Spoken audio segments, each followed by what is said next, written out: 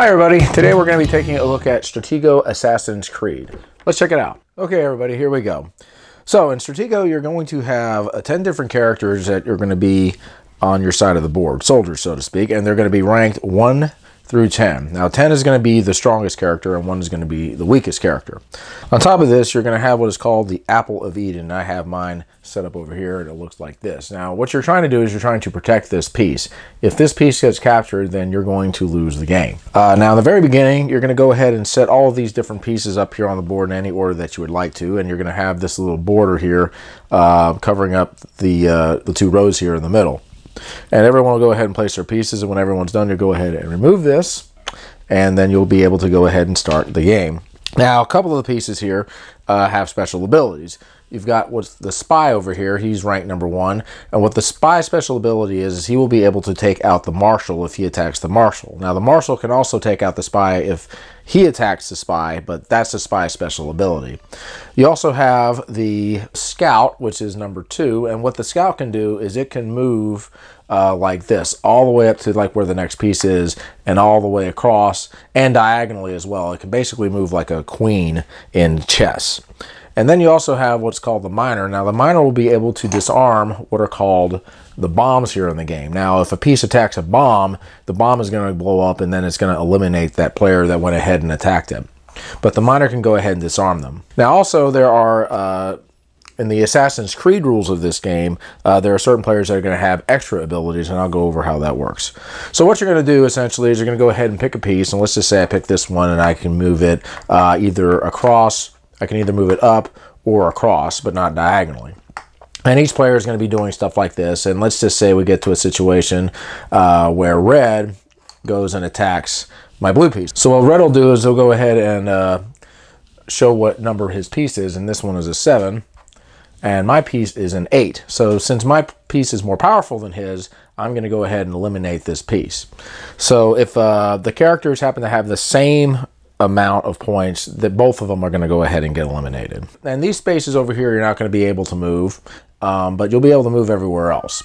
Um, so that's kind of the way the game works. You're just going to be moving these pieces around, trying to bluff people, which is a big part of the game because you're trying to like scare people into thinking you got a more powerful piece or whatever. Um, but ultimately, again, you're trying to capture the Apple of Eden. Now, if you decide to go with the Stratego special rules, uh, a few of the characters are going to have an extra weapon. The spy will be given what is called the Shroud of Eden. What the Shroud of Eden will do is if the spy ends up getting knocked out, um, he will be able to regenerate another player that has been removed from the game. So if this player happened to be removed from the game and the spy got eliminated, he could use the Shroud to go ahead and regenerate him. And he can go ahead and place that piece in the first row of the game board. If there's no free square, you can go ahead and try the next row like so. Uh, the Sword of Eden is going to go to the captain, which is rank number six. And what the Sword of Eden is going to do, it's going to allow you to choose to attack up to two pieces at the same time. So here's the captain. So the way it would work is you would just go ahead and tap the two pieces that you'd like to go ahead and attack, and then you'll go ahead and turn them over. Now it's going to go from, you'll go from weakest to strongest. Um, so in this case, uh, this is a three. So uh, the captain will go ahead and take this out. And this happens to actually be the Apple of Eden. So the captain will actually go ahead and capture that and we'll take the game. But if it turned out that this was a bomb or something more powerful than the captain, the captain would go ahead and get eliminated. On top of that, you also have the Apple of Eden.